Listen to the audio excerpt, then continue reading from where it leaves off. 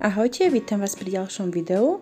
Ak máte radi výborné kremové zákusky, dneska vám ukážem, ako si jeden taký pripraviť. Bude to zákusok pod názvom Devarezy. Potrebujeme mlieko, mascarpone, sušienky, puding práškový, čokoládový a vanilkový, deva tyčinky alebo deva čokoládky, čokoládu na varenie, horkú čokoládu, kryštálový cukor a šláčkovú smotanu.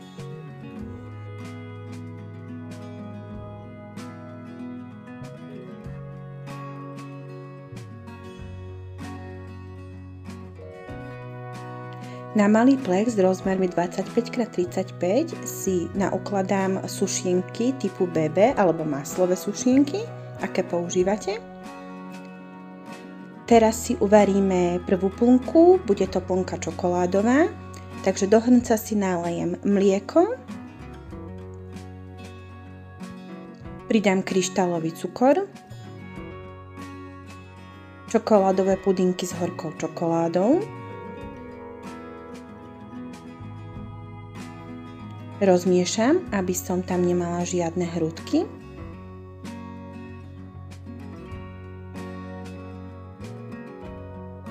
A uvaríme si hustý puding.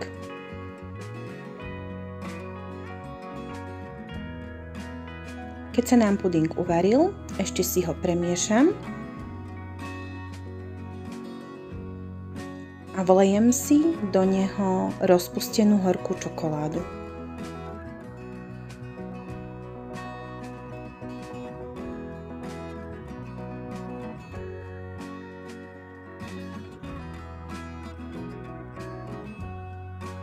Premiešam, aby sa mi tá čokoláda s pudinkom spojila.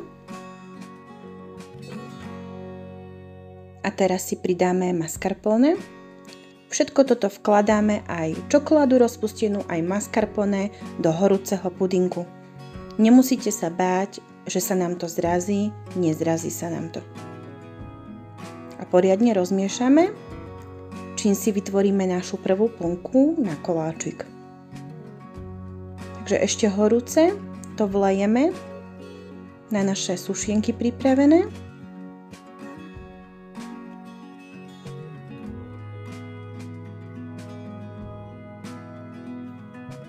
Pekne si to uhladíme, urovnáme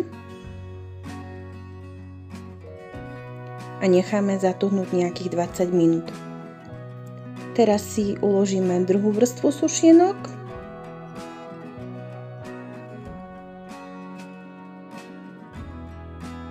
ideme si uvariť našu druhú plnku. Takže do hrnca si dáme opäť mlieko. Pridáme vanilkový puding z pravej vanilky. Tu na cukor nedávame, pretože tam budeme vkladať deva tyčinky, deva čokoládky, ktoré sú veľmi sladké, takže cukor nie je treba.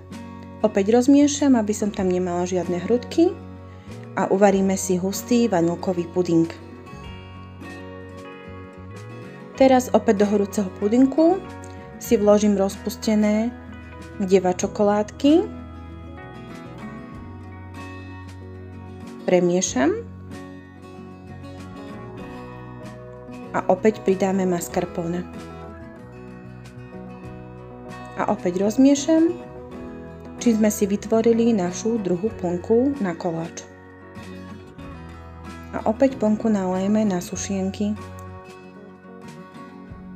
Uhladíme, necháme opäť zatuchnúť nejakých 20 minút. Poukladáme tretiu vrstvu sušienok. Keď máme sušienky poukladáme, pripravím si návrh polevu. Bude to čokoládová ganáž, do horúcej šlahačky si vložíme čokoládu na varenie. Chvíľku necháme postať, nejakých 5 minút.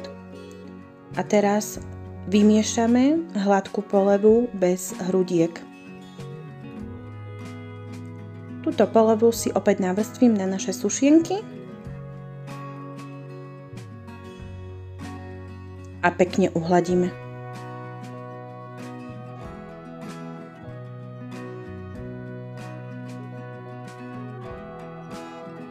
Takto pripravený koláčik si dáme zatuhnúť do chladničky aspoň na 3 hodiny. A tu je výsledok našej prípravy. Výborné, krémové devarezy. Určite ich vyskúšajte, sú veľmi chutné, úplne mekučké, rozplývajú sa na jazyku. Takže ak sa vám toto video páčilo, nezabudnite dať like. Ak ste zvedaví, čo si budeme pripravovať na budúce, nezabudnite kliknúť na odber. Ahojte!